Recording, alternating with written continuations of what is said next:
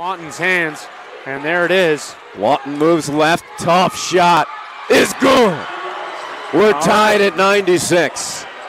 So for the second time, Lynn can have the last possession. They had it in regulation. It was a tough fadeaway by Baez, which didn't drop. Now with 10 seconds, Coach Price not getting a timeout.